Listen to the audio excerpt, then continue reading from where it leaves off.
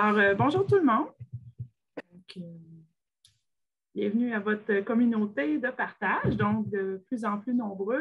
Euh, c'est bien de voir la, participation. Donc, il y a de l'intérêt. Puis, effectivement, la table, en fait, la communauté, on, on essaie de faire en sorte qu'elle répond au plus grand nombre possible.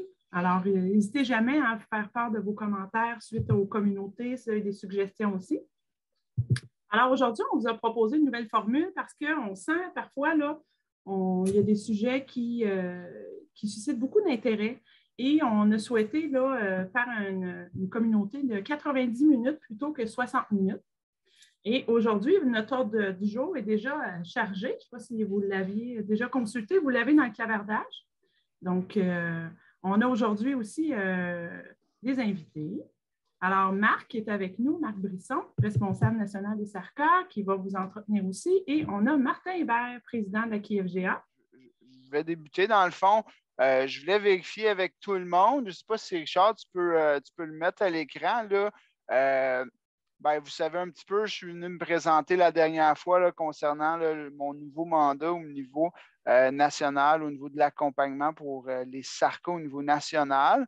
Euh, pour être en mesure de faire cet accompagnement-là, puis aller chercher les préoccupations, les besoins, on a essayé de faire circuler dans le, dans le réseau actuellement euh, un questionnaire euh, sur forme électronique pour aller chercher vos besoins et préoccupations. Je voulais juste m'assurer que tout le monde dans le, qui sont présents ici y avait répondu euh, puis vous saviez où, euh, où aller chercher, où aller y répondre, si vous aviez le lien, s'il y avait des questions, premièrement. Ce questionnaire-là va être disponible jusqu'au 5 avril. On l'a prolongé un petit peu. Il devait être au début jusqu'au 25 mars, mais euh, suite aux, aux difficultés qu'on a eues parce que le 7 mars, ce questionnaire-là, le courriel qu'on a envoyé a, tombé dans beaucoup, beaucoup de courriels indésirables dans les centres de services. Donc, on a décidé de le prolonger.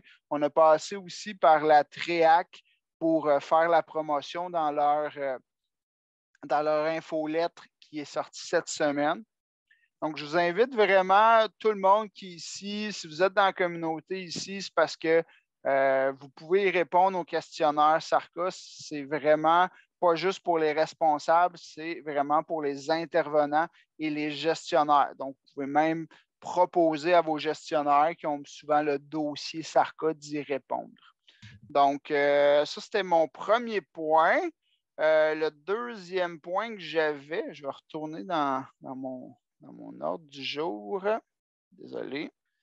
Euh, questionnaire. OK, ouais, le Carrefour, FGA, SARCA, répertoire d'activités. On voulait, on veut, euh, dans la première partie de la communauté aujourd'hui, vraiment mettre l'accent sur les partages des pratiques. Donc, euh, je voulais juste vous rappeler que dans le Carrefour FGA, section SARCA, il y avait vraiment un site Internet sur les SARCA au niveau national où là, on a un répertoire d'activités. Donc, si jamais vous pouvez chercher s'il y a des, euh, des, activités qui vous intéressent ou des projets qui sont là. Si jamais vous dites Ah, le mien n'est pas là, ben gênez-vous pas de m'en faire part, puis je pourrai euh, les, les, ajouter, euh, faire des fiches descriptives avec vous, s'assurer que le projet est bien connu. Puis on pourra par la suite le faire connaître au réseau. Le, but du site, c'est vraiment de partager de l'information le plus possible entre les, les différents SARCA euh, on sait que c'est un, enjeu que tout le monde sache ce qui se passe dans les différents endroits. Dans cette optique-là aussi, on a décidé de, en collaboration avec ce que Martin va présenter tout à l'heure avec la KFGA, d'organiser euh, une demi-journée euh, pour permettre aux intervenants des SARCA d'échanger entre eux et de, voir ce qui se passe ailleurs. En fait, le nom de l'activité, de la demi-journée, qu'est-ce qui nous distingue, puis qu'est-ce qui nous unit au niveau des SARCA. Donc, je vous invite à, aller vous inscrire, à venir, échanger. C'est sûr qu'il y a un coût d'inscription. Euh, puis là, euh, c'est sûr que c'est un enjeu peut-être, mais ça, vous pouvez nous en faire part. C'est un enjeu vraiment au niveau des inscriptions. Mais j'aimerais ça que le plus de monde soit présent. Ça va vraiment nous permettre d'aller identifier aussi encore plus après le questionnaire les besoins et les préoccupations ce qui se passe dans vos milieux. Euh, on avait, on a aussi, on avait pensé à ce demi-journée-là suite à notre dernière communauté sur euh, ici en janvier où on avait fait un petit des petits groupes sur les visions. Puis on sentait qu'il y avait là, dans ces groupes-là des gens qui voulaient discuter plus, vraiment parler des sarcas. Donc, ce demi-journée-là a été faite là, vraiment pour accentuer ce besoin-là. Donc, Martin, je peux peut-être te laisser là, pour euh, parler de l'inscription pour la KIFGA. Ça te va dessus? Tout à fait. Ben, en fait, euh, juste pour vous remettre dans le contexte, euh, bon, l'Association québécoise des intervenants en FGA, c'est une, des marottes qui, me trotte dans la tête depuis un, bon cinq ans, intervenant. Intervenant, historiquement, à la KFGA, on avait beaucoup d'enseignants, beaucoup de CPI, quelques directions. Puis là, euh, quand je suis arrivé en j'ai dit, attends, il y, a, d'autres types d'intervenants qui n'ont pas beaucoup d'autres places pour se parler. J'avais été approché entre autres par des orthopédagogues qui disaient Les orthopédagogues, on voit des affaires, puis ils nous parlent des jeunes du, primaire, puis de la maternelle, ça ne nous rejoint pas tellement. Fait qu'on avait commencé à travailler avec eux, puis euh, lors du congrès en 2018, quand j'ai ouvert, j'ai dit aux gens si vous avez des. Faites partie d'un groupe d'intervenants qui aurait besoin de, se réseauter, de nous faire signe. Puis on avait euh, Luc qui était venu nous voir euh, Luc Bertrand qui avait dit les cercas, là, on ne se voit pas souvent, on ne se parle pas souvent, on n'a pas beaucoup d'occasions. je ne sais pas s'il y en a parmi vous qui étaient, mais en 2019, on a, dans le cadre de notre congrès, organisé une journée le mercredi, une journée complète, où on avait des gens des cercas qui ont euh, discuté d'une bonne dizaine de sujets puis qui ont pris contact. Fait qu'on voulait poursuivre cette euh, tradition-là. Évidemment, cette année, c'est un peu particulier parce qu'on fait le congrès en virtuel, mais c'est ce qui fait qu'on va quand même, dans le cadre du congrès, pour ceux qui sont intéressés, vous pouvez participer à une demi-journée de réseautage. Je pense que c'est de 8h30 à midi, il me semble, les heures. Mais c'est vraiment une avant-midi d'échange. Euh, puis le, coût qu'on vous a suggéré pour ceux qui voudraient participer seulement à cet événement-là, c'est l'équivalent d'un coût d'adhésion à l'association. Ça vous donne deux avantages. Le premier, c'est d'accéder aux, euh, aux, documents qui seraient mis en partage suite à des échanges. Puis le deuxième, c'est qu'au cours de l'année qui s'en vient, on va continuer de travailler, entre autres avec Marc. Là, on, est déjà en train de, commencer à prendre contact pour regarder comment on pourrait organiser d'autres événements avec la structure de la KFGA pour euh, permettre de faciliter le réseautage entre les intervenants en SARCA. C'est ça l'idée, c'est qu'on veut laisser de la place aux intervenants. Euh, ça va être difficile de, ça serait difficile pour vous autres de partir une association et de vous faire une, journée de congrès, mais nous, on a la structure pour le faire. Si vous regardez le programme aussi cette année, on a vraiment travaillé avec, euh, avec des collaborations pour avoir euh, plusieurs ateliers. si je ne me trompe pas, il y a trois, quatre ateliers qui sont spécifiquement SARCA, puis il y a quelques ateliers qui pourraient concerner les gens qui sont en conscience, euh, en orientation ou en conseillère en formation scolaire, en information scolaire. Fait que je pense qu'on va travailler de plus en plus à faire des choses dans ce sens-là. Pour ça que je pense que ça peut être intéressant pour vous. On a demandé de vous parler aussi de la bourse avec IFGA. Euh, c'est une bourse qu'on a mis en place. Excuse-moi, Martin. Est-ce que tu peux indiquer euh, aux gens comment aller s'inscrire? Parce qu'il y en a qui ont fouillé un petit peu. Comme là, je suis sur le site, mais euh, on va sélectionner quel bloc d'atelier et comment on procède pour, pour l'inscription si on ne veut seulement que la demi-journée. Quand vous allez euh, arriver sur le formulaire d'inscription, on vous demande, euh, on vous demande euh, dans la première page quel type d'inscription vous voulez faire. Je vais juste aller l'ouvrir pour. Et en attendant, juste pour aviser les gens, la formule va vraiment être une activité pas en grand groupe. On va vous diviser en sous-groupes. Puis ce pas des sous-groupes qui vont être fixes. On a vraiment comme objectif de maximiser le réseautage. Donc, quand on va se sous-diviser en, en groupes, euh, puis on ne veut pas que ce soit des gros groupes, on veut que ce soit des groupes de 8 à 10 maximum. Donc, ces groupes-là euh, ne seront pas les mêmes. Plus qu'on va être nombreux, moins qu'ils vont être les mêmes. C'est sûr que si on est juste 30, on ne pourra pas, euh, pourra pas les diversifier tant que ça. Mais si on est nombreux, notre objectif, c'est de mélanger les, groupes à chacune, des, à chacune des fois sur les thématiques. On va vraiment travailler sur les différentes composantes des SARCA. Je vous partage mon écran avec le formulaire d'inscription. Vous voyez, je ne sais pas si la mise à jour a été faite de votre côté. Mhm. Quand on arrive sur le site, bon, les questions habituelles, nom, prénom, je ne vous dirai pas quoi remplir, vous savez déjà quoi faire, mais quand on vous demande à quel titre vous participez, on a créé une, participation qui est spécifiquement SARCA, puis qui donc, à ce moment-là, va adapter les coûts. vous ne payerez pas le prix d'une journée de congrès. Euh, si vous choisissez SARCA, vous ne participez qu'à l'activité réseautage. Si vous décidez de, profiter du congrès puis d'aller voir d'autres ateliers, ben à ce moment-là, il faut vous inscrire en tant que congressiste. Mais si vous ne faites que l'activité SARCA, il s'agira de choisir SARCA ici puis de répondre aux autres questions. L'atelier de réseautage, c'est l'atelier 404, 504. Euh, euh, puis même si on vous dit que c'est deux blocs d'une heure, en fait, dans le cas du SARCA, comme je disais tout à l'heure, ça va être une rencontre qui va être vraiment de 8h30 à midi. donc, euh, vous avez un bon 3h30 d'échange. J'ai vu passer la question dans le clavardage, à savoir si ça va être en virtuel. on a choisi d'aller en virtuel cette année pour différentes raisons, mais entre autres parce qu'au moment où on est en train d'organiser le congrès, euh, on, a eu, euh, on a eu vent qu'il y avait des centres de services scolaires qui disaient aux gens, vous ne pouvez pas vous inscrire à des activités à l'extérieur parce qu'il faut être disponible en cas d'éclosion. fait que c'est sûr que cette année, je suis un peu déçu que ça se fasse encore une fois en virtuel parce que les échanges sont tellement plus faciles quand ils sont en présence. Puis en plus, quand on l'a fait en présence, évidemment, on faisait des journées complètes. On a choisi de proposer une demi-journée parce qu'on pense qu'une journée complète en ligne, vous allez trouver ça un peu difficile. Euh, mais donc, euh, on travaille très fort à préparer euh, des événements en présence pour l'année prochaine possiblement quelque chose à l'automne. C'est encore un peu trop pour, euh, pour, me prononcer, mais on regarde pour peut-être faire quelque chose pour vous permettre de vous, euh, retrouver en personne pour pouvoir échanger plus facilement. Est-ce qu'il y a d'autres questions sur le réseautage euh, par rapport à cette demi-journée à FGA? Pas de questions, mais s'il y en a, je n'ai pas pour lever la main, puis je vais vous prendre. deux autres choses pour lesquelles on travaille à la QFGA, une bourse euh, on a des élèves qui ont des parcours et euh, qui, font des choses qui sont vraiment inspirantes. Puis on a décidé à la QFGA de, reconnaître le, travail et les efforts de ces élèves-là. Donc, il y a une bourse à QIFGA. Pour présenter un, dossier d'élève, il suffit d'être un, membre de l'association. Si vous n'êtes pas déjà membre, juste le fait de vous inscrire au congrès ou à, la journée de réseautage, ça vous euh, permet d'être membre.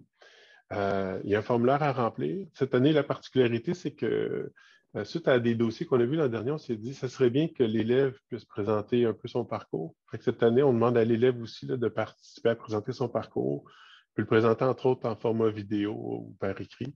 Il y a plusieurs options de disponibles.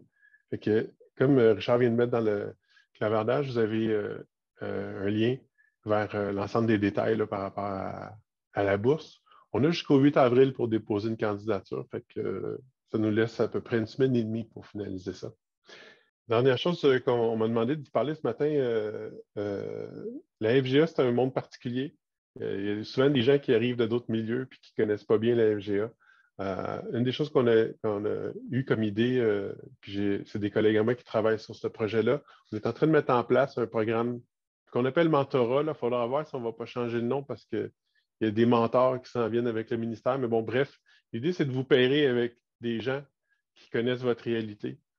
Que vous êtes conseiller d'orientation, euh, vous travaillez avant dans une école secondaire, vous arrivez dans un centre d'éducation aux adultes. C'est quoi cette nouvelle réalité-là? C'est quoi les, particularités? Ben, on vous met en, en pairage avec euh, quelqu'un qui, euh, travaille déjà dans la FGA pour pouvoir vous aider à comprendre un peu plus vos réalités, voir aussi qu'est-ce qui se fait dans d'autres milieux. Euh, fait que c'est ça, c'est quelque chose qu'on est en train de mettre en place. Euh, puis évidemment, ben, si vous êtes intéressé à, participer, euh, sur notre site, on a, un lien pour le mentorat, mais on en parle aussi dans notre programme. Il y a une adresse courriel mentorat. Si vous voulez participer et accompagner des gens qui commenceraient à travailler en FGA, ben, vous pouvez mentionner que vous êtes intéressé avec cette adresse-là. Je pense qu'on a fait le tour des choses sur lesquelles vous m'aviez demandé de parler. Oui, euh. oui, Martin. Euh, moi, je peux vous dire, euh, si ça vous intéresse au niveau du mentorat, faites-moi les parts aussi. Là, je fais partie du comité là, que Martin nommait tout à l'heure pour les gens, pour le comité qui veut mettre ça en place.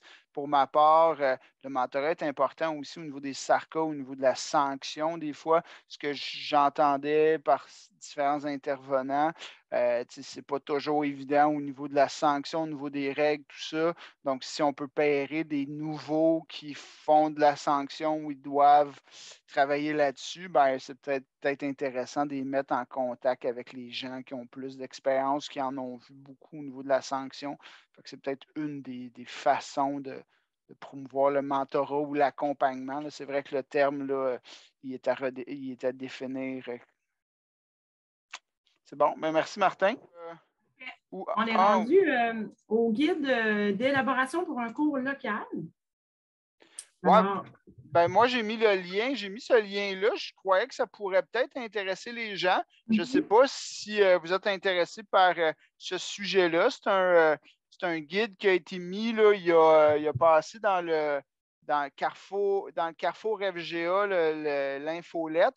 Donc, je trouvais ça intéressant que vous soyez au courant que ce guide-là a été mis en place et là. Donc, je vous invite à aller consulter le, lien. Je ne sais pas si je n'ai pas nécessairement besoin d'en parler plus. je regarde l'heure, il est 10h53. Donc, euh, je vous invite à aller voir. Je ne sais pas s'il euh, y en a qui veulent ajouter quelque chose sur ce guide-là, mais il est assez récent. Là donc euh, d'aller le, le consulter.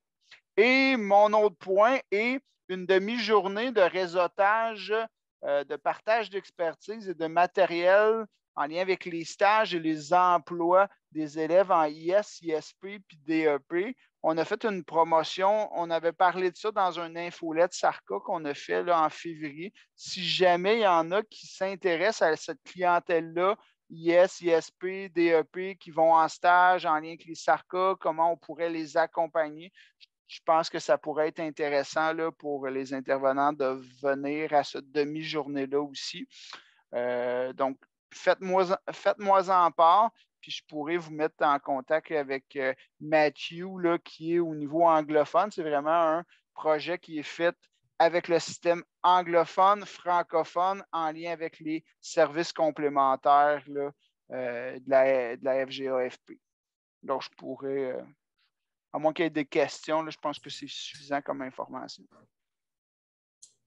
Euh, je m'excuse, Marc, Marie-Hélène Veillette, Commission scolaire des salles centre de service, pardon. Euh, ce que tu viens de dire, c'est intéressant.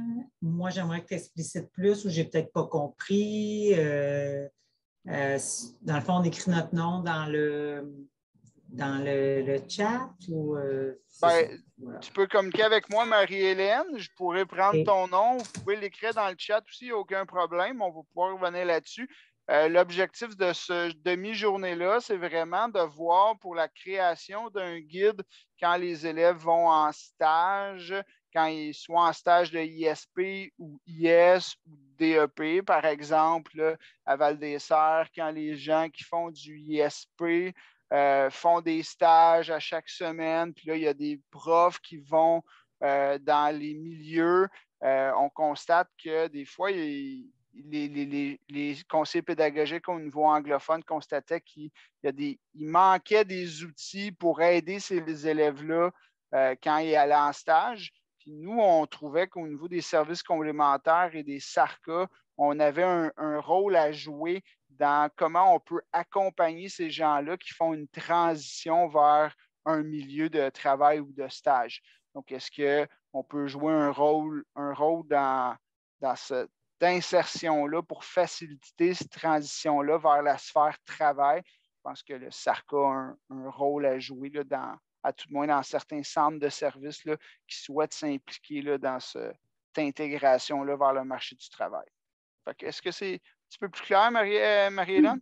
oui, c'est clair. Puis je trouve qu'en effet, c'est une bonne idée, mais il faut que les profs veulent qu'on s'implique aussi. Là. Euh, ben, c'est pour ça que c'est peut-être intéressant d'encourager euh, aussi vos profs à venir à cette demi-journée-là. Euh, on a fait la promotion dans l'info Sarka de la dernière fois. en février. Euh, les profs peuvent s'inscrire. Je vous ai dit, vous, vous pouvez vous inscrire. Vous pouvez parler à vos profs aussi dans vos centres, à dire Ah, est-ce que tu sais qu'il y a une demi-journée, ils veulent créer un guide, ils veulent venir chercher puis aller faire le, de répertorier c'est quoi les, guides puis les activités qui sont là mis en place pour aider les gens euh, les, adultes qui sont en IS ou ESP ou DEP en stage, ils veulent répertorier ce qui se fait pour être capable de créer un guide. Au niveau anglophone, francophone, c'est vraiment un guide dans les deux langues qu'on veut créer, qu'on veut voir ce qui existe. Donc, vous pouvez inviter vos profs à cette demi-journée-là le 18 mai. C'est génial. Et Karine Jacques euh, vous a mis le lien vers le, document euh, promotionnel. Puis vous avez aussi l'adresse pour vos profs qui voudraient s'inscrire. Hein. Donc, Marc, ils peuvent s'inscrire auprès de toi, mais ils pourraient aussi s'inscrire auprès de M. Kennedy. Oui, puis au niveau de Karine Jacques aussi. Karine Jacques également. Parfait. Génial. Ça répond à un besoin. je, vous encourage, euh, dans le fond, si vous avez des TES, euh, psychoèdes, euh, qui s'impliquent aussi au, niveau de ces élèves-là ou de l'accompagnement des enseignants, donc, c'est vraiment, euh, ça serait vraiment intéressant d'avoir plusieurs expertises. Puis, effectivement, j'attendais Marie-Hélène de dire oui, si les profs, en fait, pouvaient euh, nous interpeller, mais sachez que, ben, dans le fond, là, pour ceux et celles qui ne me connaissent pas, je suis Karine Jacques, je suis orthopédagogue pour l'accompagnement national en FGAFP. Donc, c'est le même rôle que, que Marc, mais au niveau de, des services éducatifs complémentaires. Puis, moi, je travaille d'arrache-pied pour, avec des projets pour Marc pour vraiment intégrer le SARCA, euh, pas à l'entrée, pas à la sortie, mais vraiment dans, le, parcours de l'élève durant sa formation. Puis on a tout un, travail à faire dans, certains centres. Que c'est pour ça. Puis faire valoir les bonnes pratiques, euh, je pense que c'est un, projet novateur et prometteur. Oui, vraiment. Puis Julie Bégin posait la question dans le tabardage. Est-ce qu'on a besoin d'offrir le programme dans notre centre pour participer à l'activité? Non, ben pas du tout. Pas du tout. Puis, tu sais, il y a un volet, en fait, ce qu'on veut s'interroger, c'est au niveau de l'adulte, comment on peut l'accompagner, mais comment on peut accompagner aussi nos enseignants, comment on peut aussi sensibiliser les employeurs. Tu sais, donc, il y a comme trois axes aussi par rapport à ça qu'on pourrait essayer de, de déployer. Fait que je ne vous dirais pas que le guide serait pris en juin, je pense que ça serait utopique, mais de, se conscientiser puis de, travailler peut-être sur une expertise. Je pense qu'en travaillant ensemble, on va, on va valoriser tout ça. Puis à ce moment-là, c'est juste rapidement l'ISP, ça, vise quelle clientèle, quel niveau un petit peu là? Euh?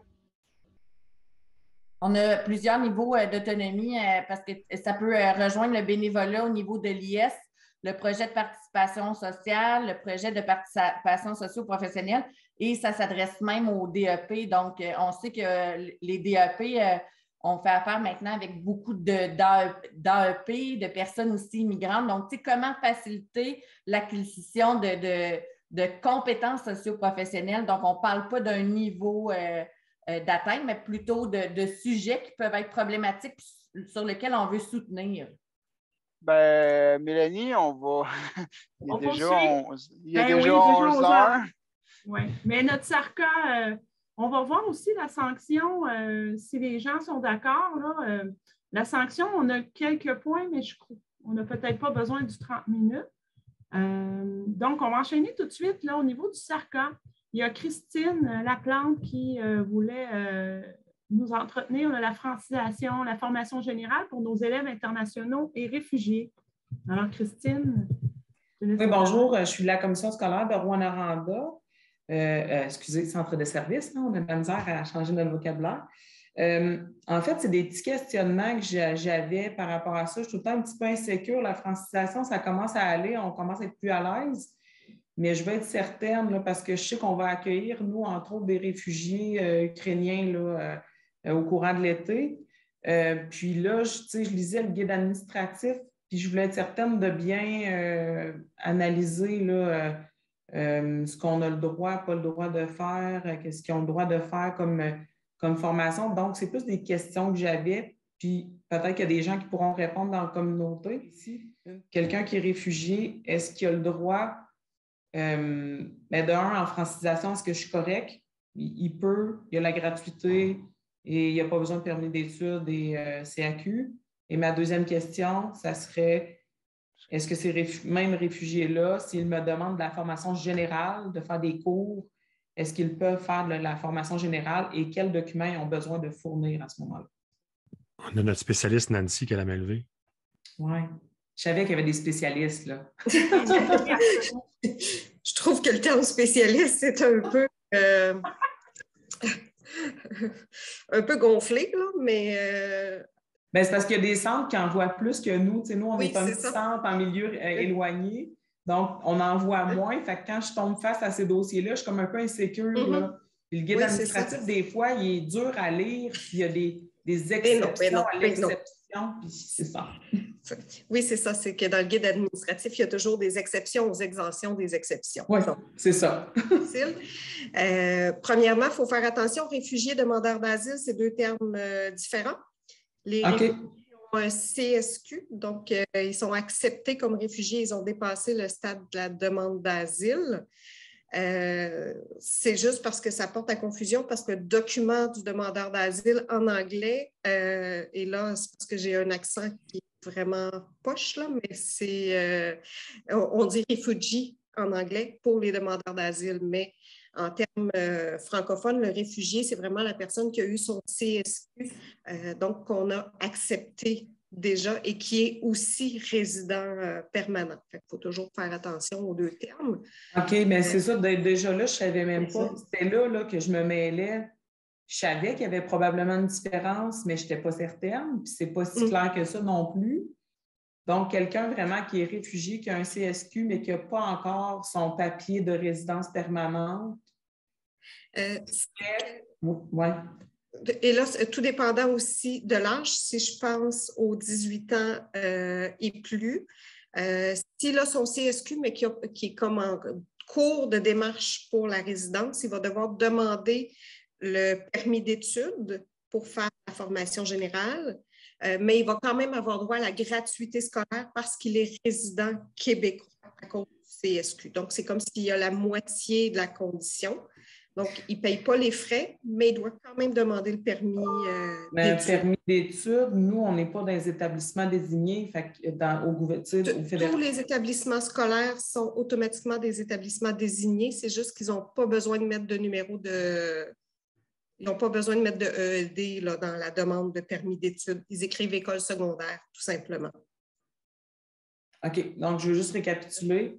Réfugié avec un CSQ, mais qui n'a pas encore, parce que moi, j'en ai une que je rencontre cette semaine, c'est ça son, sa situation. C'est une réfugiée avec un CSQ, mais qui n'a pas encore reçu euh, le papier. La résidence, parce que ça, c'est ça. Elle a 18 ans et plus. Elle peut étudier gratuitement mais il lui faut quand même un permis, d'études CAQ.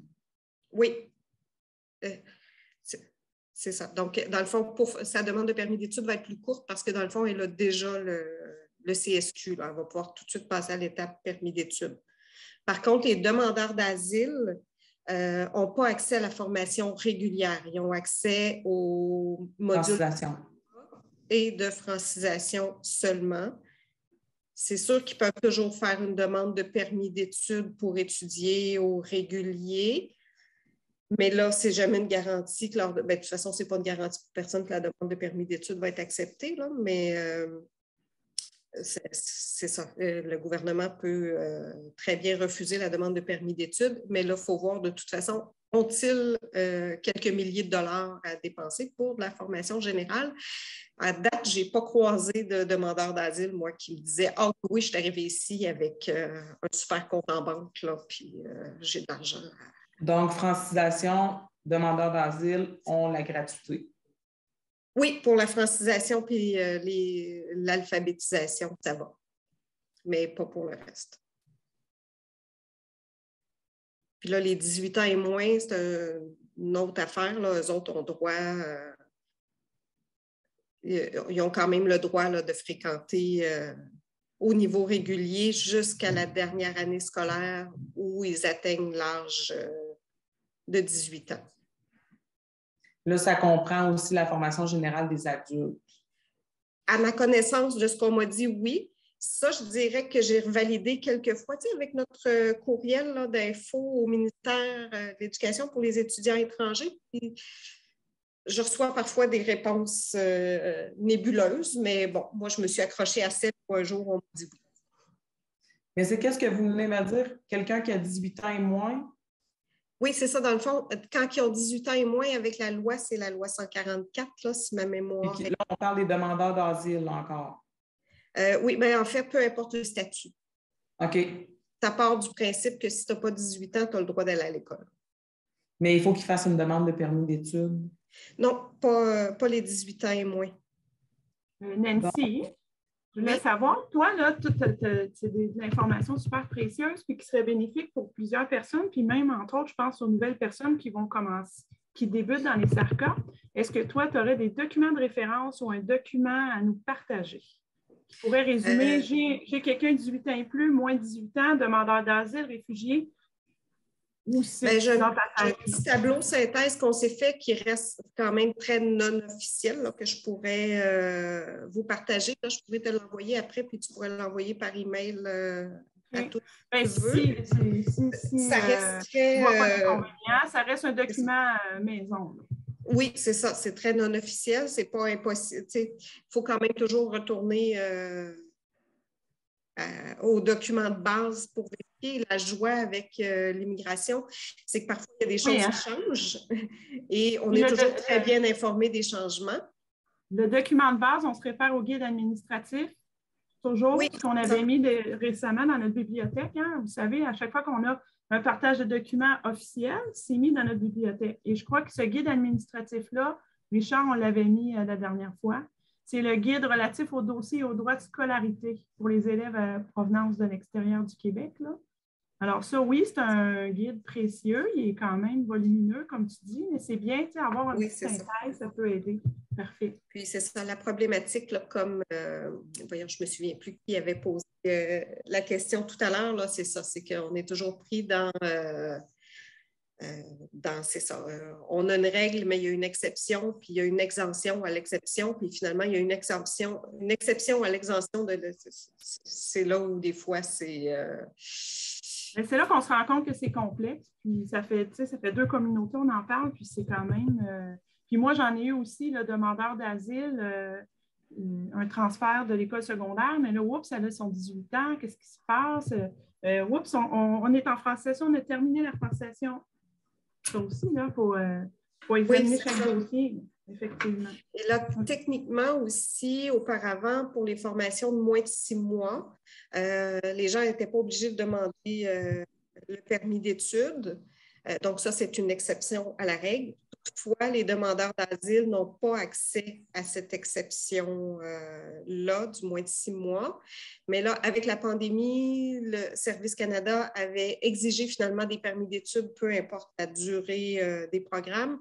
Et là, je ne sais pas s'ils ont levé cette. Euh, faudrait que je revérifie s'ils ont levé euh, cette exception-là, finalement, pour les programmes de moins de, de six mois. Mais en FGA, personnellement, là, je trouvais que c'était comme difficile à appliquer le moins de six mois, étant donné qu'on euh, ne peut pas garantir que quelqu'un va avoir fini euh, à effectivement. Et, toi, Nancy, est-ce que tu as une personne ressource quand tu dis aller valider? Quelqu'un qui est nouveau, là, tu ne veux pas recevoir tous les appels, mais quelqu'un qui, aurait besoin d'aide pour des particularités ou des cas d'exception comme ça, on se réfère à qui? Bien, techniquement, on a un courriel qu'il faudrait que je retrouve, là, étudiant étranger là, au ministère euh, de l'Éducation, mais euh, c'est ça, il y a des délais pour les réponses, puis euh, les réponses sont parfois nébuleuse un petit peu. Fait que, généralement, euh, l'idée, c'est de revenir vraiment sur les sites euh, des deux ministères d'immigration pour aller euh, consulter l'info. sinon, il y a toujours Éducation internationale là, qui est là aussi en support. Je dirais la, la voie peut-être la plus rapide, ce serait vraiment Éducation internationale. Parfait. Qui est là pour les centres de services scolaires. Il y a Julie Gilbert. Je ne sais pas si Julie, ça fait un petit peu de temps que la main levée. Est-ce que tu voulais apporter des éléments, un complément? en fait, il y a l'équipe choc de la TREAC, l'équipe choc organisationnelle qui donne du soutien par rapport à la, au traitement des dossiers administratifs de la francisation.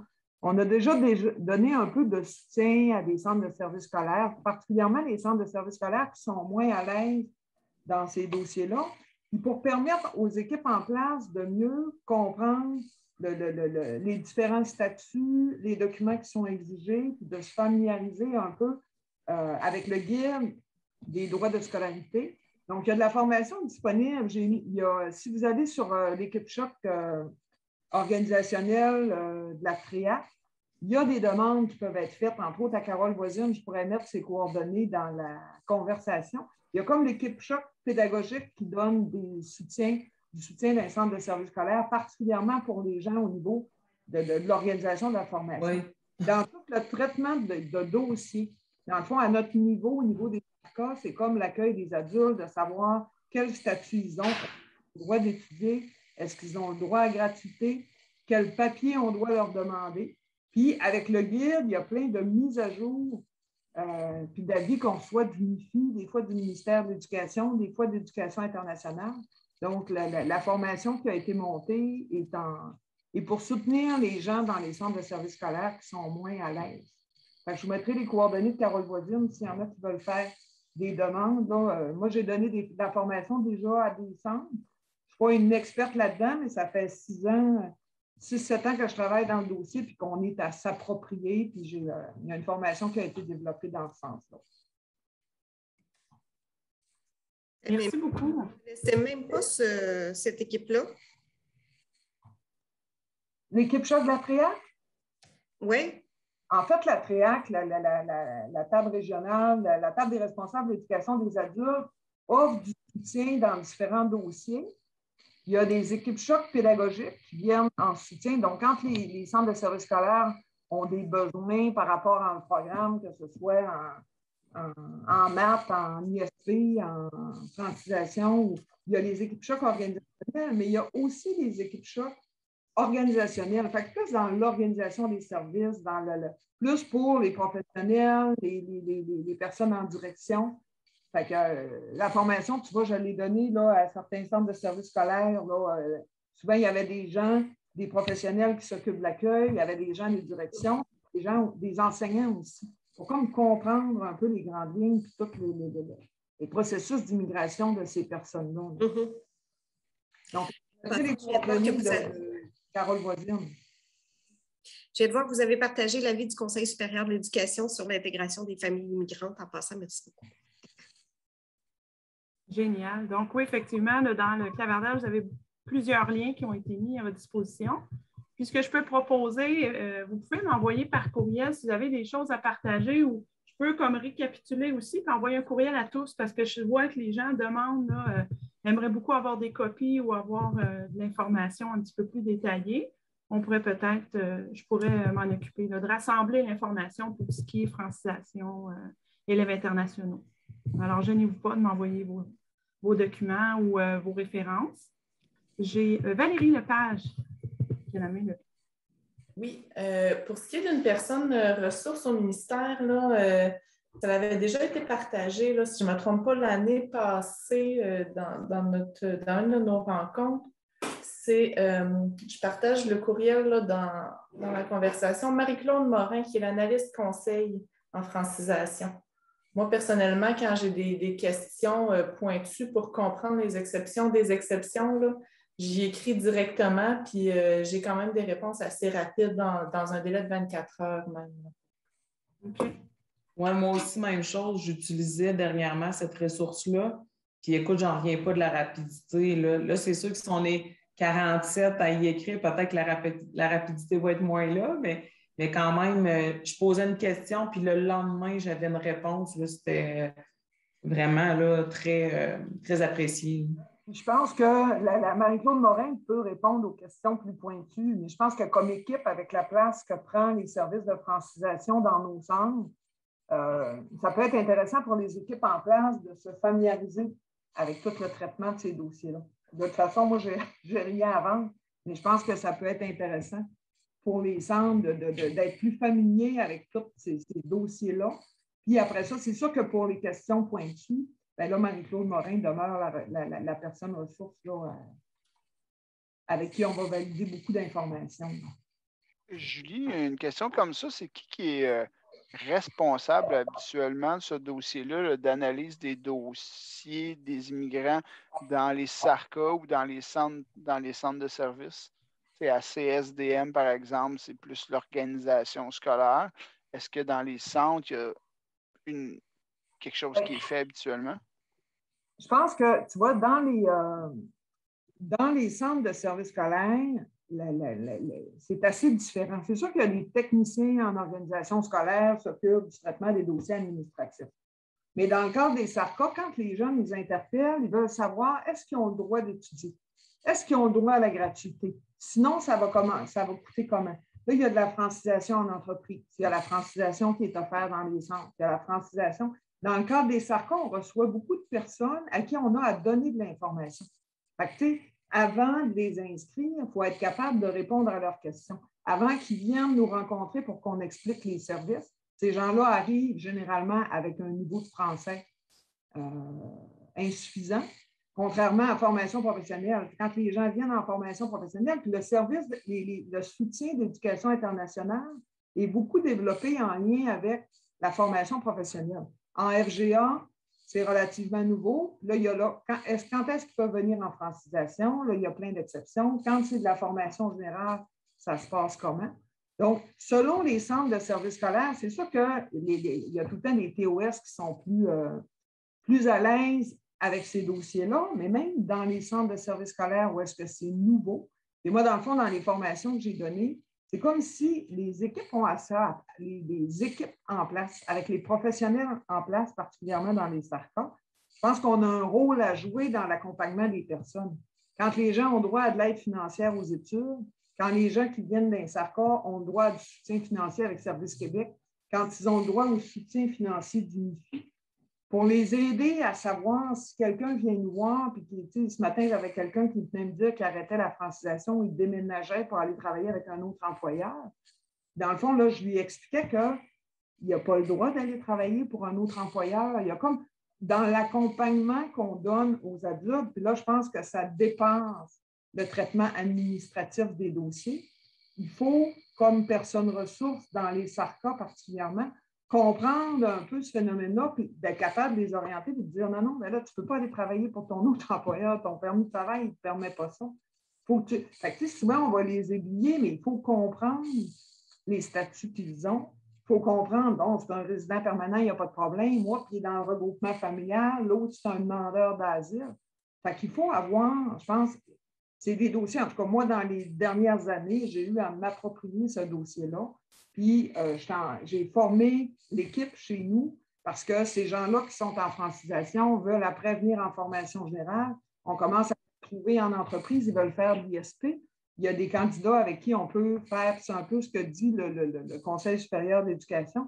Ces gens-là vont arriver en insertion socio-professionnelle, ils peuvent avoir des besoins aussi d'accompagnement en entreprise. Donc, c'est sûr que de savoir, comme moi, il y a des profs qui arrivent en ISP, les gens veulent faire des semi-spécialisés, mais là, dépendamment de leur statut, on ne peut pas nécessairement les inscrire en formation.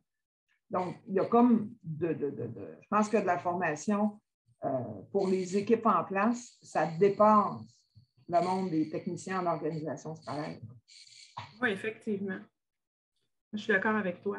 Ils ont besoin d'accompagnement, donc euh, oui. ils ont besoin de c'est ça, de conseiller. Puis euh, les conseillers doivent s'outiller pour avoir une vision justement globale parce que, OK, on sort parce que nous, on a des élèves en francisation, puis on est effectivement rendu, euh, il y en a qui, atteignent la limite en francisation où ils terminent.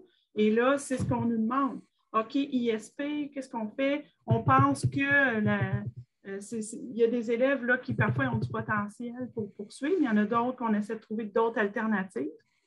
Puis je sais que notre équipe de conseillers ici est sollicitée à ce niveau-là. Euh, donc, c'est une expertise à développer en soi.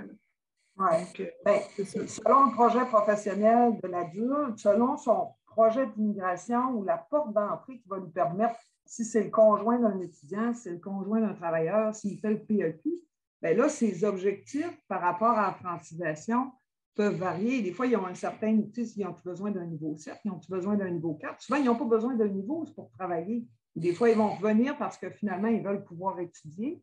Donc, selon le parcours et le projet de l'adulte, ben, il n'y aura pas le même parcours à faire en francisation. On vise tout qui aille chercher un niveau 8, que ce soit. Et sauf que dans la vraie vie, eux autres, ils ont d'autres objectifs à atteindre. Donc, des fois, s'ils ont besoin du niveau 4, après ça, leur prochaine étape, c'est d'aller chercher de l'expérience. Parce qu'ils Donc, il y a tout ça aussi, je pense, à avoir un peu en tête. Ça peut être au niveau des organismes en immigration dans vos milieux, qui peuvent être des personnes ressources indispensables pour nous éclairer là-dessus. Mais en tout cas, pour vous dire, il y a des formations disponibles. Je pense que ça peut être, euh, pour, en tout cas, particulièrement pour les centres de services scolaires qui commencent à recevoir des, personnes en francisation, ça peut être euh, un bel outil, une belle ressource. Oui, vraiment, merci beaucoup. Très riche comme information.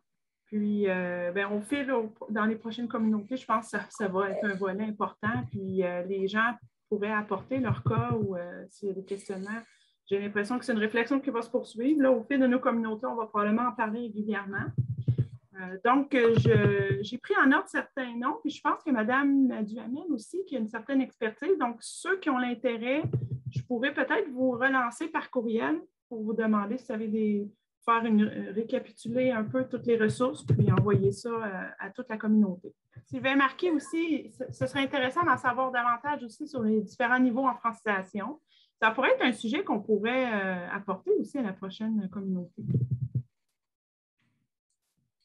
Ou euh, si vous avez des documents de référence pour M. Marquis. Il y a peut-être aussi, si les gens manifestent intérêt-là, un, un, sous-comité? un sous-comité axé là-dessus qu'on pourrait planifier aussi. Là. Moi, je pense que c'est un sujet intéressant.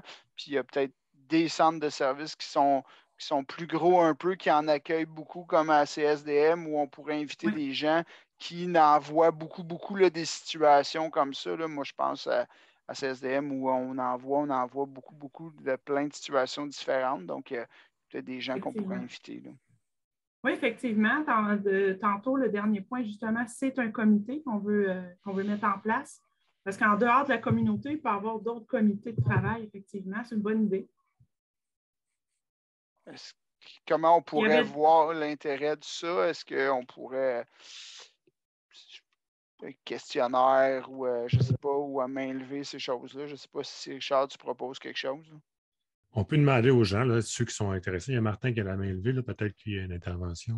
Ben, en fait, ce que j'allais vous proposer, c'est, euh, compte tenu que c'est un sujet sur lequel il y a déjà une formation, compte tenu qu'il y a déjà des gens qui sont, euh, qui sont formés pour le faire, puis compte tenu que c'est moins un sujet d'échange de communauté, euh, peut-être qu'on pourrait euh, regarder euh, s'il serait intéressant à donner une formation. Puis vous savez que les salles virtuelles des communautés d'après-cours peuvent servir aussi des fois à faire des présentations. Peut-être une présentation d'une demi-journée qui pourrait être organisée, je lance cette idée, par quelqu'un d'une équipe choc qui vient présenter un paquet de choses. Puis après ça, s'il reste des questions, on pourra les échanger en communauté. Mais je, trouve que c'est plus un sujet de formation qu'un sujet d'échange. Puis les moments d'échange sont quand même importants pour, pour répondre sur un paquet de choses. Fait moi, il me semble que j'aurais peut-être, euh, je ne veux pas m'immiscer dans votre communauté, mais proposer de contacter quelqu'un de l'équipe Choc pour voir est-ce que vous pourriez organiser un webinaire euh, en avril, en mai, pour parler de, la francisation en gros? Une, idée. Oui, c'est une bonne idée. Parce que je pense que oui, au départ, on a besoin de formation. Puis à la, suite de ça, mais là, on peut échanger sur euh, des situations, des cas d'exception, des trucs comme ça. Donc, euh, je pense que oui, les gens trouvent que c'est une très bonne idée. Euh, donc, soit une formation, soit d'avoir un comité. Euh, donc, les deux semblent. Ben, je pense que pour la formation, je suis d'accord avec M. Hébert dans ce qu'il vient de dire, dans le sens où, que, au moins que les gens aient en tête le guide administratif, c'est un document que ça nous prend, aient en tête les niveaux de francisation, aient en tête les services d'UNIFI, aient en tête les grandes lignes, puis après ça, ça se discute. Mais là, moi, il y a des questions qui se posent, puis ça prend. C'est comme de, débattre comme ça si les gens n'ont pas la base. on va prendre énormément de temps dans toutes les rencontres pour essayer de régler des cas qui ne seront pas clairs. il y a tellement d'exceptions. Je pense que ça peut être un beau point de départ. Ça prend une formation de base de départ, effectivement, je suis d'accord, pour euh, savoir de quoi on parle, avoir les balises, puis ensuite, euh, on pourra ramener. Donc, euh, merveilleux. On pourrait Alors, communiquer avec vous, Madame Gilbert, peut-être, pour. Euh, à suivre. Merci beaucoup. Donc, on va on va, on va regarder les points de sanction. Euh, il y avait José. Je ne sais pas si tu es présente. Euh, c'est une personne qui n'a pas réussi son histoire de secondaire 3, mais qu'elle a réussi le module Histoire 46, mais qu'elle n'a pas eu le temps de terminer son Histoire 47. Euh, dans le fond, qu'est-ce qu'on lui propose dans le nouveau programme? Qu'est-ce qu'elle va avoir à faire? C'est un peu ça que je comprends la question. Oui, c'est moi, c'est vraiment euh, c'est la question que je me posais. Oui, bonjour. Euh, alors, moi, j'ai vérifié avec la non-cumulativité et quand l'élève a réussi le 46, ça lui donne le HIG 410102. Donc, même s'il n'a pas réussi son secondaire 3, le secondaire 3 correspond au HIG 410102. Euh, donc, c'est comme ça que je comprends. On n'a pas d'écrit officiel du responsable de programme, mais en analysant la non-cumulativité, euh, on a cette réponse-là. Merci. Dans le fond, elle, pourrait faire juste les deux autres livres d'histoire dans le nouveau programme. C'est ça. Merci. Valérie Lepage? Si on regarde dans le guide d'admission au collégial à la page 63, c'est marqué que pour avoir l'histoire de secondaire 4, ça prend un minimum de quatre unités réussies de la quatrième ou cinquième secondaire liées à des cours qui appartiennent à un programme d'études établi par le ministre, donc géographie, histoire, sciences humaines ou sciences économiques. Donc, moi, la lecture que j'en fais, puis je peux me tromper là, parce que je n'ai pas eu euh, de, cas encore euh, qui, sont en transition entre les deux programmes, mais si l'élève a réussi le 46, qui est deux unités, est-ce que euh, je me trompe en disant que s'il réussit un des deux codes de cours du nouveau programme, il va avoir ces quatre unités d'univers social de quatrième secondaire? Est-ce qu'il y en a d'autres qui ont la même lecture que moi? Sens, effectivement, parce qu'on a besoin de quatre unités en US. Donc, euh, oui. Il y avait quand même j'avais la madame elle lui a répondu, mais j'avais également cette question-là, parce que justement, il y avait quatre unités d'univers social. Donc, est-ce en sachant que ça leur en donnait déjà deux euh, en 40, le 46, ben, dans le fond, est-ce qu'il fallait faire les deux autres livres? Mais c'est ça, je, crois qu'il n'y a rien de. de, comme, euh, comme depuis des mois, me semble, on se pose plein de questions, mais il n'y a jamais rien de clair qui est défini par la sanction parce que même là, elle, en ce cas, j'ai comme écrit à une personne du ministère, puis c'était même pas clair la réponse que j'ai eue là. Oui, c'est ça. Donc, on se débrouille beaucoup par nous-mêmes depuis un certain temps. Mais de ce qui est écrit aussi dans le clavardage, je pense qu'il est important toujours, c'est de vérifier la non-cumulativité. Ça, c'est la première des choses. Puis moi, je pense que quand on a un 4 unités en univers social, bien là, on, peut avoir la sanction pour le DES au niveau des adultes. Euh, il y a comme deux choses à vérifier. Et puis, euh, puis de voir aussi, des fois, on s'attache avec les enseignants. Euh, s'il y a deux modules, si le 46 lui donne deux unités, ben là, l'enseignant aussi peut faire une recommandation, comme quelqu'un qui disait, Nancy, euh, parfois on va donner éducation financière, parfois ça peut être un module de monde contemporain seulement sur, deux. Euh. et il y en a qui vont avoir, il va bientôt avoir géographie culturelle, je pense, géographie culturelle, il y en a qui offrent déjà l'histoire. C'est sûr qu'on a quand même une variété d'univers social, ça, ça, permet une flexibilité, mais effectivement, il faut toujours vérifier qu'il n'y a pas de, que c'est cumulatif. Il y avait euh, Christiane la main, qui avait la main levée. Oui, bien, en lien avec ça, c'est parce que je t'entendais tantôt dire que vous ne donniez pas le nouveau programme, le 0. C'est quoi dans 02, 03? Non. Ou 01, 02? Le nouveau programme d'histoire de cap? Le HI, euh, pas le HIG, le HIS, là, maintenant. Moi, ce que je voulais savoir, c'est qu'on n'a pas reçu d'examen encore de ça. Les examens ont été sortis. Mais on ne les a pas reçus. Les examens de HIS puis HIG, on, on aurait Oui, on les a reçus. Oui. Ça fait à peu près un mois, si je ne me trompe pas, que ça a été sorti sur le site sécurisé du ministère. Oui. Ben, c'est parce que je suis responsable de la sanction, moi, dans mon centre de service scolaire à l'FGA. Puis, je n'ai pas reçu le lien sécurisé pour, cette, euh, pour ces examens-là. Donc, vous me confirmez que les responsables de la sanction, vous avez reçu un info sanction qui disait que les examens étaient disponibles et qu'on pouvait aller les chercher sur le, site sécurisé. Le 4 février, on a reçu une info sanction. Pas une info sanction, mais une lettre euh, pour HIS 4103, 4104, puis les HIG 4101 et 02. C'était disponible du 7 au 17 février. Là, euh, mon autre question, d'abord en lien avec ça, parce que je pense que c'est sécurisé de telle date à telle date. Je pense que le ministère, il ne peut pas me l'envoyer juste à moi, hein, ou euh, comment ça fonctionne à ce moment-là, si je les ai pas récupérés. Il faut faire une demande, à une adresse courriel euh, en disant que tu as manqué le délai, puis ils vont le réouvrir comme pour une période limitée sur le site sécurisé. Super. Oui, effectivement, il y a certains d'entre nous, il y en a qui se sont identifiés, qui sont responsables de sanctions comme conseillers. Donc, euh, vous avez un accès privilégié à l'information.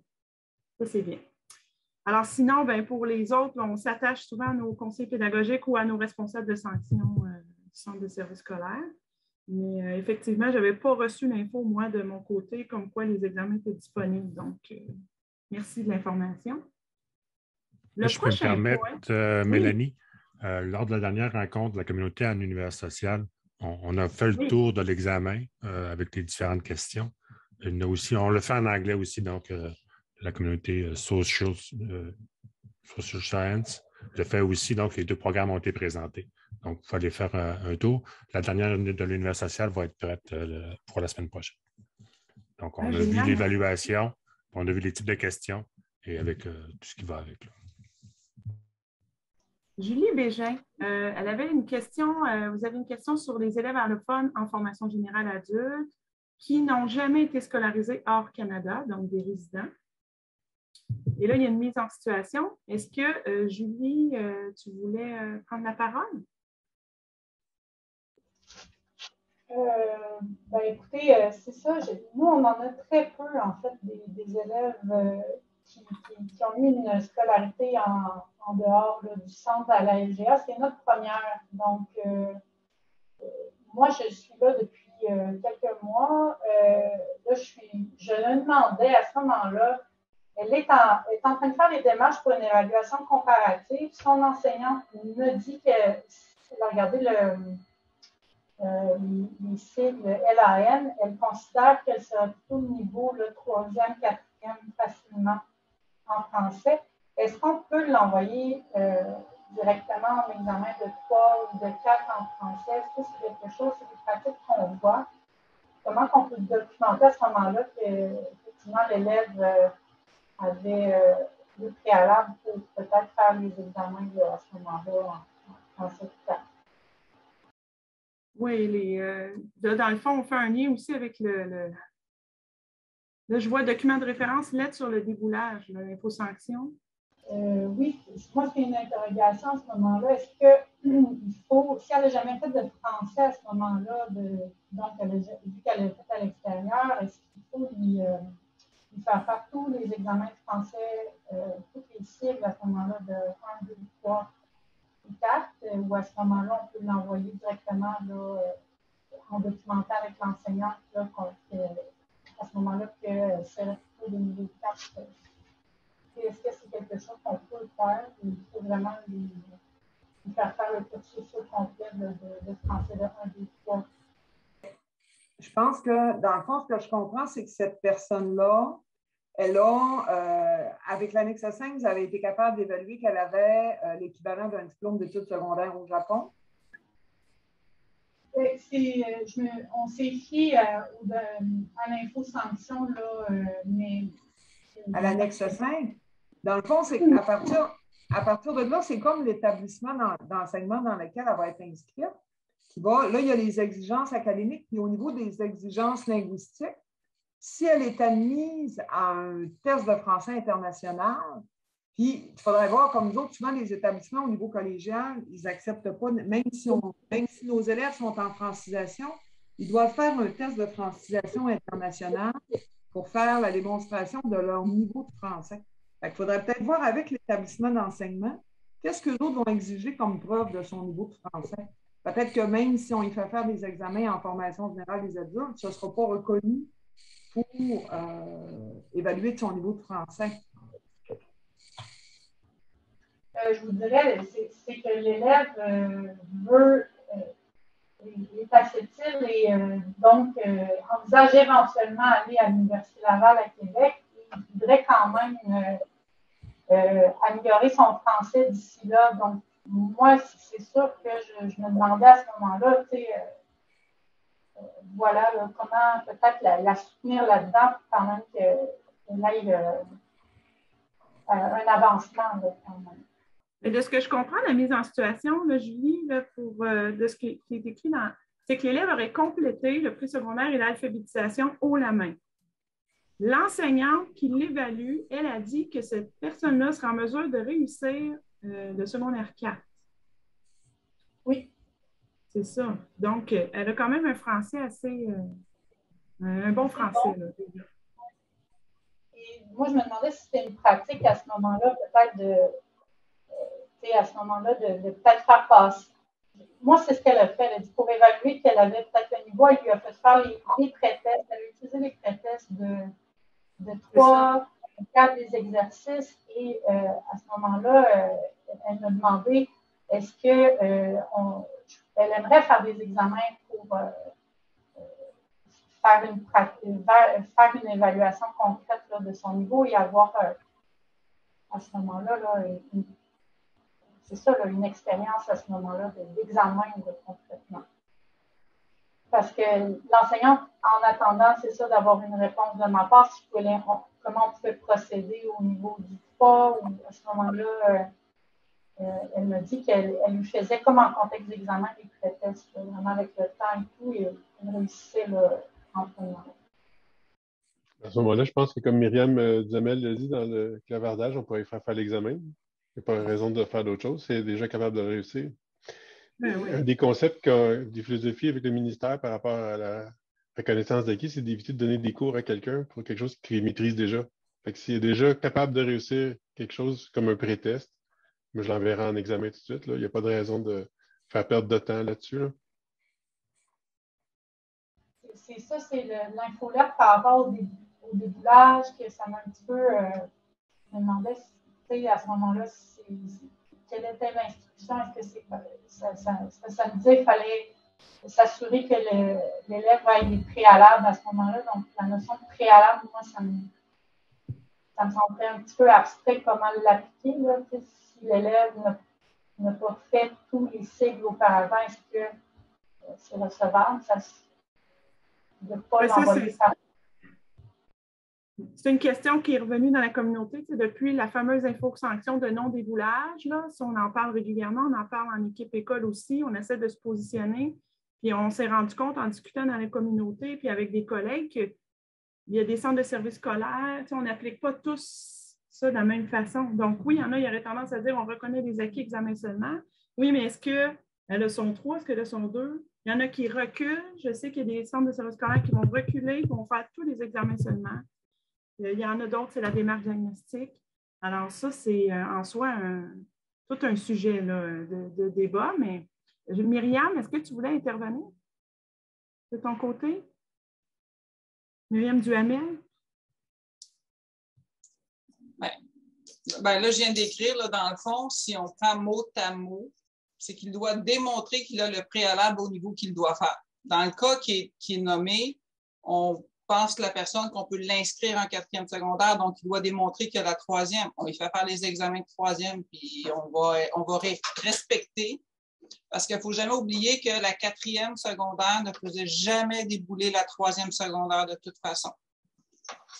Donc, s'il démontre que il est capable, s'il fait pas les examens puis les a, il a le préalable pour passer en quatre. Donc, ton problème, c'est une façon de, de, pouvoir démontrer au ministère que tu as fait ta job et que l'élève a ce qu'il a besoin. Mais est-ce que la personne doit avoir pour faire ses examens seulement là, de secondaire 3 en examen. Ben, elle, ne suit pas les cours de troisième secondaire. Elle ne s'inscrit pas pour faire le cours de troisième secondaire.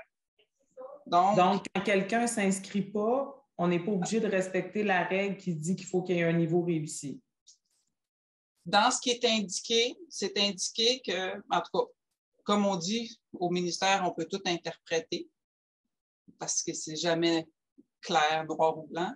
Mais l'interprétation qui peut être faite, c'est quand c'est indiqué, il doit démontrer qu'il a le préalable pour s'inscrire à un cours. Ben là, il veut s'inscrire en quatrième secondaire, donc il va démontrer que la troisième. Il ne s'inscrit pas en troisième parce que nous, on a déterminé.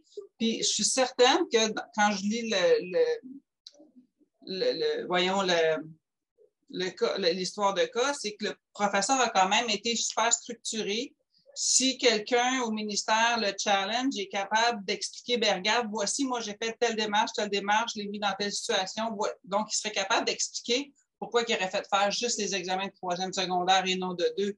Mais ton élève s'inscrit en quatrième secondaire. Donc, le préalable pour le cours auquel il s'inscrit, c'est la troisième. Il fait juste les examens de la troisième. Il ne s'inscrit pas en troisième secondaire. Mais en effet, comme euh, je pense que c'est Mélanie qui le disait, euh, ça peut, oui, ça peut amener des interprétations différentes d'un centre de service scolaire, mais le principe qui a été écrit dans le clavardage, il ne faut jamais porter préjudice, il faut toujours mettre la réussite de l'élève en premier.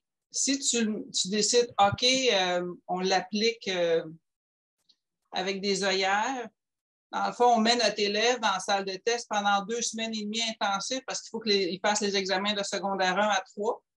Les chances qu'il va, va, décrocher en cours de route euh, sont, énormes. fait que puis on veut qu'il réussisse. Donc, dans le fond, le compromis qui répond et aux critères ministériels et aux besoins de l'élève de s'assurer qu'il possède les bonnes compétences pour passer au niveau supérieur, mais ça serait de faire les examens seulement. Mais nous, de notre côté, on, a tendance à aller vers une démarche diagnostique, tu vois, avec des situations euh, d'apprentissage. Euh, ben, ça dépend des centres de services scolaires et de la structure qu'ils ont. Nous aussi, on ne peut pas nécessairement faire tous les examens parce qu'on a une structure différente, puis on a des outils qui nous permettent de, de comptabiliser, de nommer avec les DDE de chaque sigle pour s'assurer que l'élève respecte. Mais il y a d'autres centres de services scolaires qui ont été validés auprès du ministère, puis c'est pas ça qu'on doit faire. il y en a qui l'ont eu véritablement et du ministère, nous, on n'a pas eu cette information-là spécifique comme ça. Donc, pour ça, je dis des fois, ça peut être. Mais l'important, c'est qu'on soit capable de démontrer que l'élève a l'acquis, donc le préalable pour le programme. moi, je suis, pas, je suis une CO.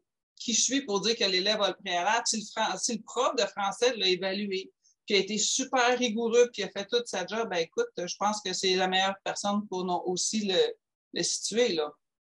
Ben, c'est ce qu'on a mis dans notre argumentaire à un moment donné, notre responsable de sanction qui est allé voir avec des vis-à-vis. En tout cas, c'est pas terminé de notre côté non plus ce débat-là, mais c'est ça notre vision comme, en tout cas, notre vision comme CEO, puis c'est ce que Julie résume bien, c'est qu'on ne veut pas porter préjudice à l'élève, on essaye de reconnaître ses acquis, c'est des adultes. Euh, on, est, on est dans un centre aux adultes, donc, euh, mais euh, effectivement, comme tu dis, il y en a qui ont, qui ont vérifié, qui sont fait donner des directives. donc, je pense que chaque centre de service scolaire en équipe, là, puis multidisciplinaire essaie de se faire une vision de tout ça, puis de, faire en sorte que, ça, soit cohérent. Puis moi, je suis d'accord pour dire que l'enseignant, c'est l'expert. C'est l'expert du contenu, puis c'est la personne la mieux placée pour évaluer les acquis de son élève. c'est clair. Euh, dans la lettre qui parlait de l'arrêt du déboulage, là, euh, Mme Duhamel, c'est vraiment bel et bien écrit que l'adulte qui croit posséder les compétences d'un cours dont il n'a pas les préalables peut demander de passer l'épreuve seulement. C'est écrit dans la lettre d'arrêt du déboulage, puis ça, c'est pour n'importe quel adulte. Un adulte qui nous arrive, qui dit Moi, je pense que je peux faire mon français de 4, euh, je veux faire juste les examens, il y a droit.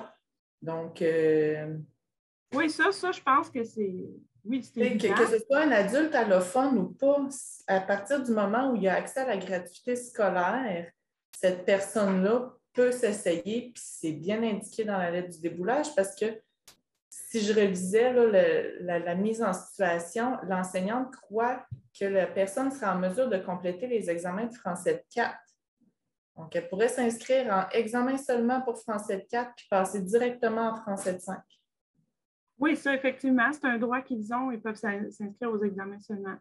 Et puis, c'est à nous, comme centre, de, s'organiser pour pouvoir leur faire faire les épreuves. Parce que moi, ce que l'équipe, parfois, de français nous dit, c'est euh, bonne chance, faire faire des examens seulement sans aucun soutien d'un enseignant. Euh, il semblerait qu'avec le nouveau programme, puis moi, je comme je dis, je suis CO moi aussi, je ne connais pas tout le contenu, mais il semblerait que c'est tout un défi en soi.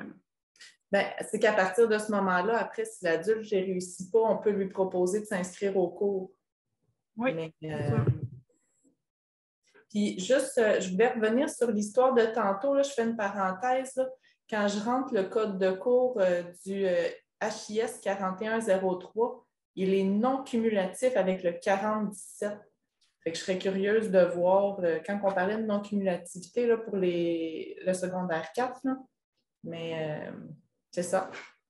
Oui, effectivement, ça aussi, c'est des choses vraiment à valider, la non-cumulativité, pour ne pas se faire, euh, pas porter préjudice puis mal évaluer le, profil d'un élève.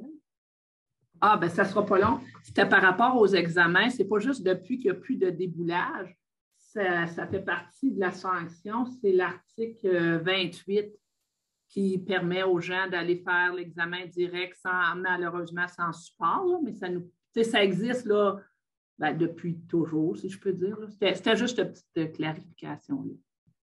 Merci. Merci, André. Oui, effectivement, ça existe depuis toujours. C'est clair que c'est un droit dont l'adulte peut, euh, peut se prévaloir. Merveilleux. D'accord, mesure d'adaptation et examen ministériel ou non? Oui.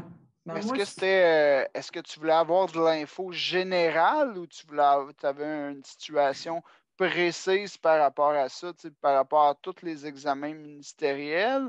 Euh, est-ce que tu as déjà parlé avec Mme Jacques qui a intervenu tout à l'heure? C'est une réponse précise que tu as peut-être communiqué avec Mme Jacques. C'est vraiment elle, au niveau des services complémentaires, qui pourra vraiment donner une réponse très, très précise par rapport à ça. OK, donc je peux communiquer directement avec Karine à ce moment-là. Oui, ben, je pourrais. Ouais, Par curiosité, euh, en quelques secondes, c'est quoi ta question, Christine? Ben, c'est parce que là, j'ai toutes sortes de. Puis ça fait longtemps que je travaille aux adultes, mais je suis nouvellement responsable de la sanction. J'ai un nouveau rôle depuis deux ans. Là, les enseignants m'arrivent avec toutes sortes de demandes qu'on n'a jamais eues avant, du genre euh, bon, ben l'élève en mathématiques, je ne sais plus c'est lequel, géométrie en secondaire 3, est-ce qu'on est-ce qu'il peut apporter en salle d'examen des, des formes avec lui géométriques? Vu que ce n'est pas un examen ministériel, on est obligé de faire une demande officielle de mesures d'adaptation? C'était un questionnement, là, dans le fond, euh, c'est parce que mon orthopédagogue, elle me disait, mais Christine, les mesures d'adaptation, c'est écrit dans la sanction que c'est pour les, examens ministériels. Tu sais, quand on regarde dans le guide de la sanction, donc le 1, 2, 3, est-ce qu'on se fie juste au DDE c'était un peu ça, parce que là, j'ai des demandes d'enseignants d'utilisation de matériel, mais pour du 1, du 2 et du 3. Puis ils me disent que, ben, ils me demandent en fait s'il euh, faut faire une demande officielle à la sanction pour des, des, genres de mesures, exemple comme celle-là, de, que la personne puisse apporter des formes avec elle en examen en mathématiques, exemple. Ben, c'est ça, on pourra, euh, c'est euh, la majorité qui ont ce besoin-là. On pourrait demander à, Mme Jacques qui vienne parler de ça. Elle travaille exactement sur ça, sur toutes les mesures qui doivent être mises en place en FBC puis en FBD. Donc, c'est vraiment son, le, mandat au niveau national, au niveau des services complémentaires. Donc, c'est elle qui pourrait vraiment nous, euh, nous donner une formation là-dessus avec le, le, site Internet sur les services complémentaires aussi en FGA-FP, là, tu pourrais retrouver plusieurs réponses. Mais euh, je pense que c'est un sujet très large. Mais Valérie propose qu'on ce serait pertinent peut-être de prendre un petit moment à la prochaine rencontre pour en parler. Si Karine Jacques peut se joindre à nous pour un certain, euh, certains moments pour apporter des éléments de réponse. Je pense que ça peut être profitable pour, pour, parce qu'en fait, mon orthopédagogue ici, elle avait posé la question à la communauté d'orthopédagogues, puis encore une fois, tout le monde n'avait pas les mêmes réponses.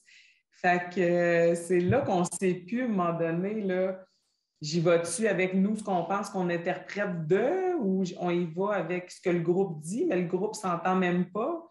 Fait qu'encore une fois, il y en a qui disaient non, non, non, il y en a qui disent oui, oui, oui. Euh, fait, que, je ne sais pas quoi répondre à mes enseignants dans ce temps-là sur ce genre de, de demande-là, mais au pire, je peux écrire directement aussi à Karine Jacques pour voir euh, si elle a pas une ben, me répondre peut-être directement aussi à mon, questionnement. C'est une bonne idée, Christine. Qu'est-ce que tu en penses? Tu pourrais nous apporter des éléments de réponse peut-être à notre prochaine rencontre? Oui. Ben, je suis curieuse, moi aussi, de savoir euh, ce qu'il y en a pour ça. Oui, parfait. Merci. Merci. Ou est-ce que c'est l'ensemble, Mélanie, qui veut ça? On va demander à, à Karine si ça peut se libérer là, pour notre prochaine euh, ou une partie. si c'est l'ensemble qui souhaite ça, on peut facilement demander là, si elle est disponible. Euh, un ou l'autre. Alors, moi, euh, je n'ai pas de problème, Christine, parce que peut-être que Christine a hâte d'avoir la réponse aussi, parce que je pense que c'est un enjeu qui est comme d'actualité pour elle. Alors, la prochaine rencontre, c'est un petit peu loin peut-être pour toi, Christine, mais si tu as des éléments de réponse avant, ça pourrait être intéressant que tu nous apportes la réponse, mais euh, Karine peut être là aussi parce que peut-être qu'elle peut amener d'autres euh, informations complémentaires à tout ça. Parfait. OK, on s'y en courant. OK, ben parfait. Euh, je sais qu'il reste deux minutes. Peut-être qu'on pourra le reporter à la, à la prochaine rencontre. Euh, moi, je voulais euh, vérifier en discutant avec plusieurs personnes des SARCA de différents centres de services, je constatais qu'il y avait euh, de l'intérêt par rapport à les transitions en lien avec les SARCA. J'ai mis la mesure qui, qui, est en place là, ben, qui, qui, est en place dans la dernière année où ils ont rajouté des sommes là, pour faciliter la, la ben, au niveau du décrochage, la mesure, c'est, je vais, euh, Mélanie, tu l'as-tu devant toi? C'est au niveau, je vais, je vais aller dans l'ordre du jour, désolé. Euh, la mesure, là, tu, le, le numéro? Oui, le 15. La mesure 15, 15 168. Ouais, partenariat stratégique pour le décrochage scolaire. Pour le raccrochage. Euh, pour le raccrochage, pour le décrochage, pour le raccrochage scolaire, euh, qui est euh, dédié, qui, qui, est des sommes pour la FJJ, mais qui a certains centres de services qui ont mis en FGA. je voulais vérifier s'il y avait des gens qui seraient intéressés de discuter de ce qui se font dans leur centre de services par rapport à euh, cette mesure et s'il y avait des comités ou des, personnes en charge de la transition entre la FJJ, la FGA, FP. Moi, j'y vois un lien très important avec le SARCA. Euh, je pense que ça vaudrait la peine d'aller voir les, pratiques gagnantes qui se font. Euh, donc, c'était ça l'idée un petit peu. Je sais qu'il reste, il est déjà midi.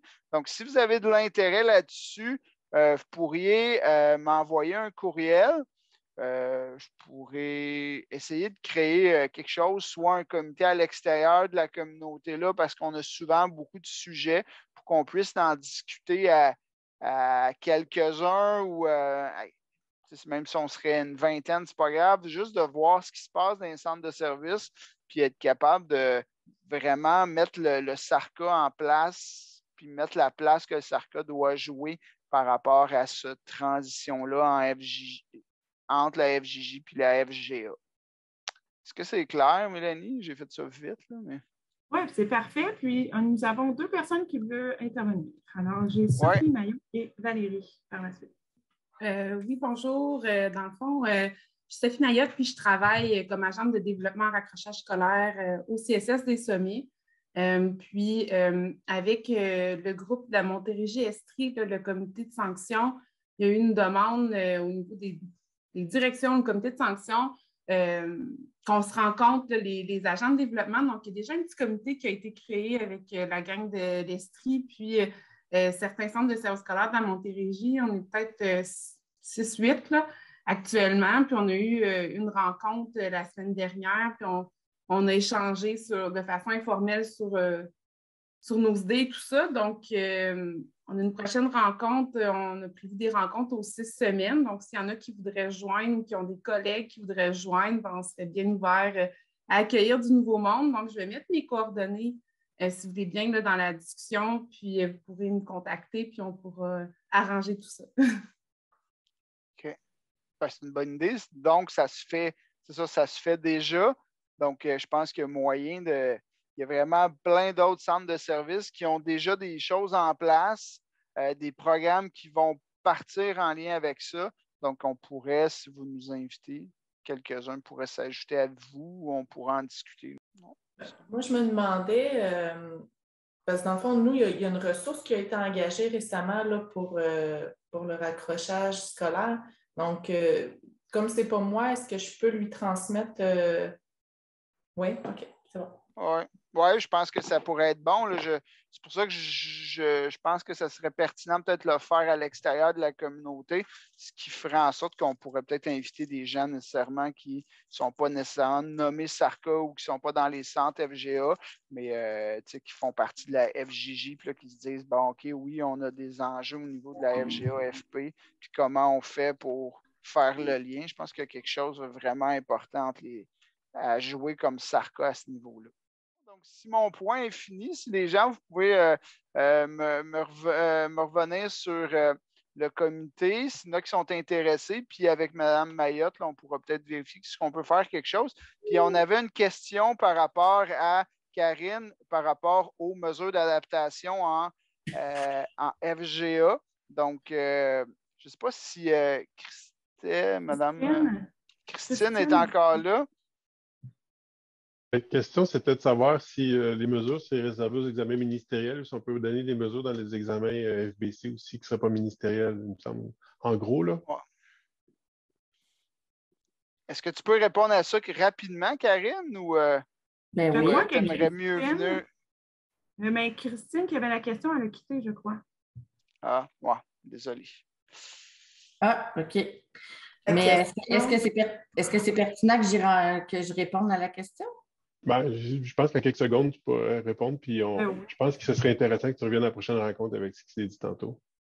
Ah ouais? En fait, ah aussi, ce qu'elle demandait, c'est est-ce qu'il faut qu'elle euh, qu'elle s'astreigne au DDE? Par exemple, un élève qui aurait besoin de, de, de, de, solide en examen, est-ce qu'il peut les apporter?